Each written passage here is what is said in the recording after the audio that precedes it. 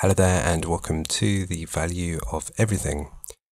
So, I want to get back into doing a little bit more of a thought experiment um, based on current events. So, I'm going to try and get one of these out as much as I can. Uh, one of the, what shall we say, more interesting things which has come out recently, which does invoke on citizens' freedoms is Google's treatment with an employee when they questioned how certain, what shall we say, genetic components has a uh, an effect on the selection process. But I don't think that really explains it. I'll go into a bit more detail. So recently. Google came out with an announcement, and the, the crux of everything came into this line where it says to suggest a group of colleagues who have traits that make them less biologically suited to work is an offence and is not okay. So that is really a, a, kind of a straw man argument, and it takes things a bit out of con- a bit out of context. So, I guess a good response in this respect would be to say that there are genetic traits and there is being in the right place at the right time, and there is human desire, and uh, predetermination and randomness both play a part. Now, breaking predetermined factors will occur as those with who are biological minorities are employed as a result of that. And uh, even if they are less capable or less biologically capable, it proves something quite complementary. They have traits which um, are like heightened drive and determination, which arguably is ethically better. So it's really something that should be promoted in organizations which want to look good in the public eye or in the public scrutiny. So, in this respect, I think uh, where they've come at this this angle of saying, "Oh, you, um, you've suggested that these traits are not suited for work," that's wrong. Well, they're not not really looking at the other side of the argument, where these people are actually there, and there's a good reason why they're there. So, I'm sorry, Google, your straw man argument has failed. Um, but there is actually interesting information about this, and it's one of the, the University College um, of London professor Chai Jung Tisei, apologies for my explanation there, says that there is actually a, a thing where people do go off of natural talent more so than uh, just like raw determination. So I guess it is something that could be addressed with an employer, how they perceive, perceive things. And uh, yeah, it's interesting to see um, when when you look at the perspective of an employer. There's um,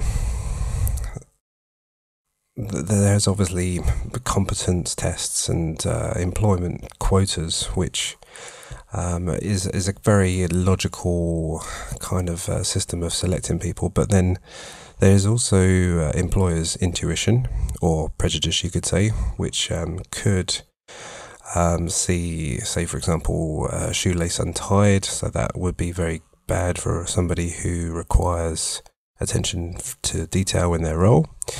Um, but then also there could be invalid prejudice where you could see an Asian isn't so sorry, an Asian is always deemed as very smart in their role, so you should always opt for employing them. So there, there is that predetermination. Uh, sorry, there is that uh, prejudice which is applied, but really, I would say it was an, an internal matter, and Google should have probably looked at that case and said, "Hmm, maybe there's something um, to this, and we should look at how our employers' um, intuition is looked at when selecting people, so that, um, say, these people have got human traits or human desires which are very strong um, and maybe not have the biological components, but we are still selecting on those people. So um, the I guess the minorities are um, not getting casted away, and you're going for natural talent beats everything or beats experience. now, obviously, this isn't necessarily all about HR and a HR selection, um, but yeah, I guess one of the things about um, HR departments is that they are not really much to do with human relations, but more to do with um, systematic, uh, being a systematic de- department, um, which is obviously trying to avoid litigation um, for its treatment of its staff. So there's very little humanity in the way that they perform their actions. They're very sort of, if you ever see somebody in HR, they're like, um, it's all quite fakery and overperformance a lot of the time. But obviously, they're just somebody who's trapped in the cogs of a corporation. Um, but when we look at uh, Google and it's it's a kind of a, censorship which is occurring here, and that's probably where a lot of the issues are rising, and that's why a lot of the flares are going up about. Well, why should you be um, going against this side or this employee? And obviously, it comes it comes into a question where where there is uh, YouTube channels which are being funded by advertisements, advertisements, and they're getting uh, cut back. It's uh, it, it's eroding the ability for people to perform.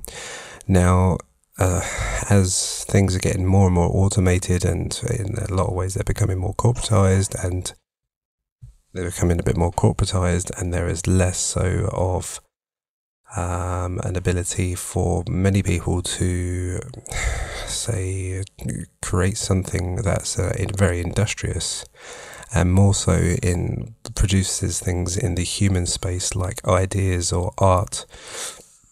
And I guess what's the more most important part of art and ideas is uh, really the political activism side of things. The really thing that that passes a message to say that your life can be massively improved if the uh, ideas flourished and people were working in this direction rather say than against each other.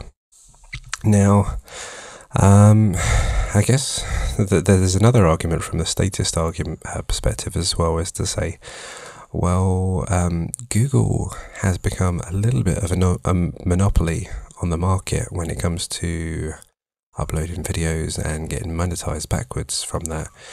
And uh, I remember there was like an antitrust uh, thing within with Europe with Microsoft where it would uh, let's say, package its web browser and other things if you install Windows.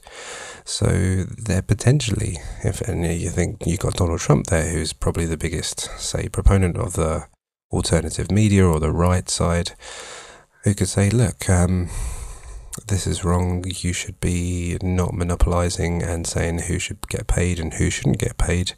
This is a monopoly on a market. We should break you up and maybe some videos are like well maybe the youtube of cat videos is one and then there's a youtube of political activism.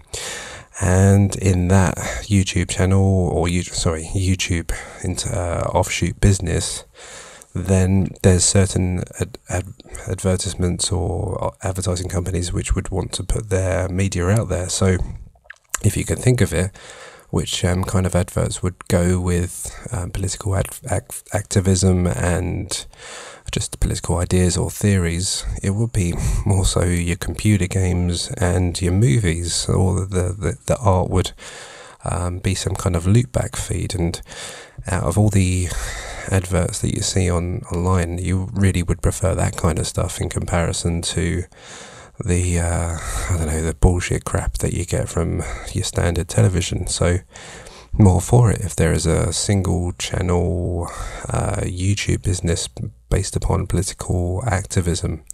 I think that would probably even get more traction than the other ones.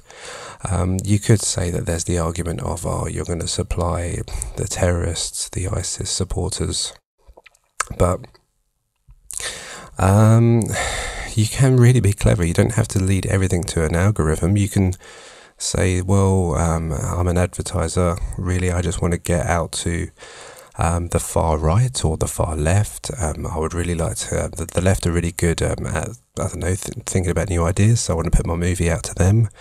Uh, the the right side, they've always got a bit of money, so I'd like to sell um, this side over to them. I was about to say insurance, so that go against what I said, but even so, it's like um, it's still advertising dollars, and um, I'm sure there's a market for everyone. Now, even say there could be an advertiser that wants to go out to, like, um, who sells Muslim, whatever, uh, halal meat or anything, that wants to go out to them. So, um, yeah, maybe the stuff is dis- distasteful, but um, you, you, obviously there, there there are grounds in terms of how far things should go, but uh, freedom of speech prevails more than anything else, and uh, again, as everything gets automated, there's less of a chance to make revenue out of a lot of things, and there's an, only a little bit of chance of making revenue out of um, art and performance. And if you crush that, and the main thing of art and performance is the spreading of ideas, if that's getting crushed,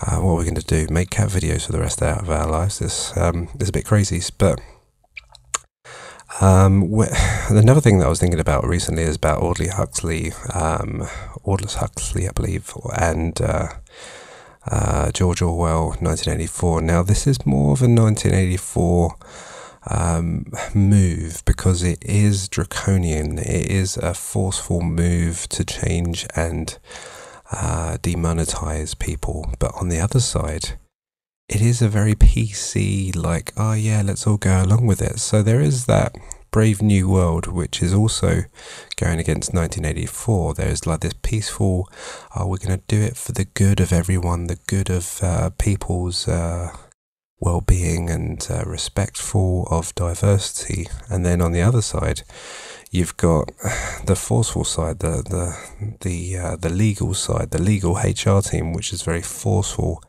and uh, throws uh, people out of the uh, well throws uh, employees out into the streets because they do not well they share ideas which don't uh, complement theirs.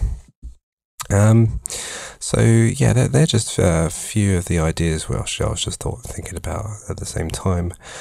Um, and uh, I guess another like significant point as well is that we all know that there's um, a significant financial crisis now around the corner, and uh, you really want to demonetize them as quickly as possible because obviously um, you do not want them to have this strong, powerful voice when um, things crash and people are looking for new ideas how to change the world.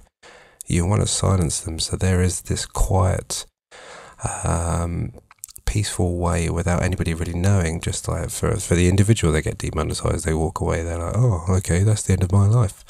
Um, better look into uh, stacking the shelves. But um, for everybody else, it doesn't seem like anything's happening. So there is the perspective of the person who's uh, uh, just. Uh, I get the consumer of, uh, say, YouTube. They're going, oh, okay I'm seeing a little less of this. Maybe it's not as popular. Maybe the activism, everyone's calmed down now and it isn't quite as, as popular as what it is.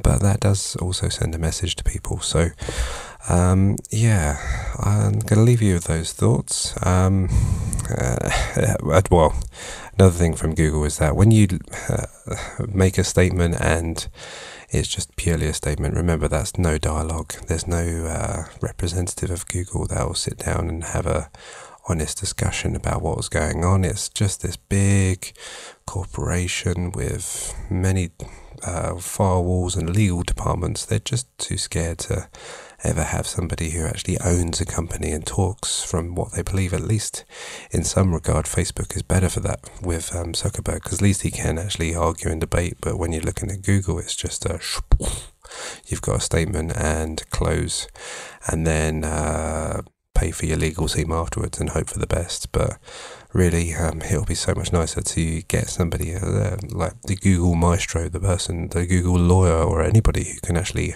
argue and debate their sides. Maybe there is better arguments out there in Google's defense of diversity. I understand, uh, yeah, I guess feelings are something that exist, but there is a prevalence of facts and truth and information which should counterweigh as as much as as bad as I feel. Um, the truth is very relevant, um, or we cannot really make strives to improve things. So.